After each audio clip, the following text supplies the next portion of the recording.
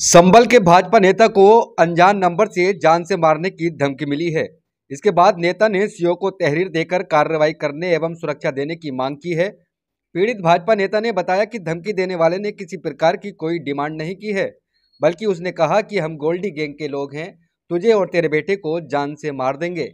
मामला ज़िले के सदर कोतवाली संबल क्षेत्र से जुड़ा है। भाजपा पश्चिमी उत्तर प्रदेश के क्षेत्रीय उपाध्यक्ष राजेश सिंगल के छोटे भाई भाजपा नेता कपिल सिंगल को अनजान नंबर से फ़ोन करके जान से मारने की धमकी दी गई। धमकी देने वाले ने पहले नाम पूछा और उसके बाद ये धमकी दी गई। पीड़ित ने इस मामले में सीओ संबल अनु चौधरी को लिखित तहरीर देकर कार्रवाई एवं सुरक्षा करने की मांग की है। आपको बता दें कि संबल विधानसभा क्षेत्र से 2022 की विधानसभा चुनाव में कपिल सिंगल ने मज़बूत दावेदारी पेश की थी।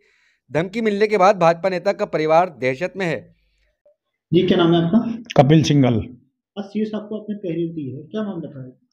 शिव साहब को हमने तहरीर दी है, आज सुबह प्रातः चार बज के चौवन मिनट पर हमारे मोबाइल पर एक मिस कॉल आई। मिस कॉल के तुरंत बाद चार बज के पचपन मिनट पर एक कॉल फिर आई दूसरे नंबर से। वो नंबर हमने रिसीव किया। उधर से आवाज़ आई, कपिल सिंगल बोल रहे हैं। मैंने कहा हाँ जी, कपिल सिंगल बोल रहा हूँ। फिर उसने कहा कि, मैं गोल्डी गैंग का, गोल्डी गैंग से बोल रहा हूँ। मैं तुझे व तेरे लड़के को बारह बजे तक जान से मार देंगे। मैंने कहा, भाई साहब, क्यों मार देंगे? तो उन्होंने फिर उसके बाद में मेरे साथ अभद्र भाषा का प्रयोग किया।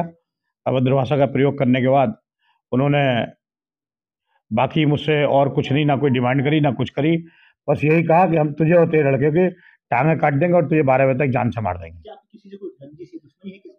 मेरी तो मैं तो सामाजिक आदमी हम राजनीतिक परिवार से जुड़े हुए हैं तो इसलिए मुझे तो लगता नहीं लेकिन किसी भी दुश्मन का कोई पता नहीं कौन दुश्मन है कौन दोस्त है। आज का ज़माना ऐसा ही है तो इसलिए क्योंकि ज़्यादा कुछ नहीं कह सकते इस बारे में। नंबर से कॉल आई थी मेरे पास दो नंबर से कॉल आई थी एक से मिस कॉल आई थी एक से बात हुई थी। अच्छा आपके कोई भाई बीजेपी में भी हाँ मेरे बड़े भाई मुझसे बड़े भाई राय सिंगल पश्चिम उत्तर प्रदेश के क्षेत्रीय उपाध्यक्ष हैं। हम लोग भारतीय जनता पार्टी से अपना वास्ता रखते हैं। हम लोग आरएसएस से भी हैं और हम लोग जन्म जाति संघी हैं।